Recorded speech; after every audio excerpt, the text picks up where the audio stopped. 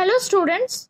In the last class we have seen these terms food pyramid, trophic level and today we will discuss the remaining part of this chapter.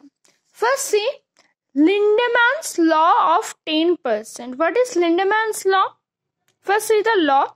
About 10% of the energy received in each trophic level is used up for building the body mass which is available to the organisms of the next trophic level. Means what? Suppose this is the herbivores. Okay. Herbivores consume the energy from the plants, from the producers. So this level, this trophic level consume only 10% of energy from this trophic level. Again, third level consume energy, only the 10% energy from the second level. And so on.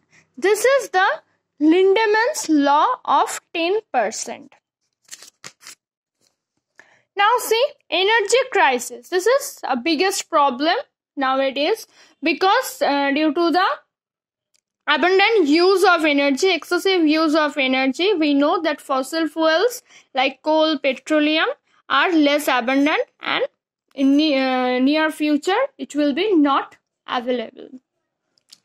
We know there are two type of energy resource. Non-renewable resource renewable resource. Non-renewable resource means which will not be available in near future.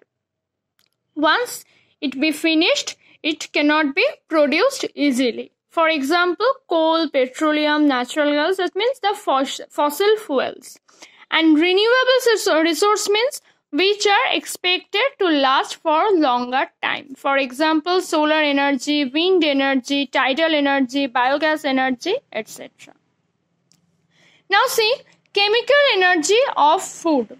Chemical energy of food means during the production of energy from food, some energy is produced due to the change in the structure of molecules of different components of food. That means the chemical reaction. We know in the chemical reaction, the structure of the food components, the food molecules has been changed. So in the, for this, energy is produced is called the chemical energy of food or chemical potential energy of the food. Now see frictional force in our daily life. What is frictional force? Frictional force means a force applied in a direction opposite to the direction of the motion of a body. Suppose a football is kicked on a field. We can see uh, it rolls along the field and after some times the speed gradually decreases and ultimately it stops. Why? Due to this frictional force.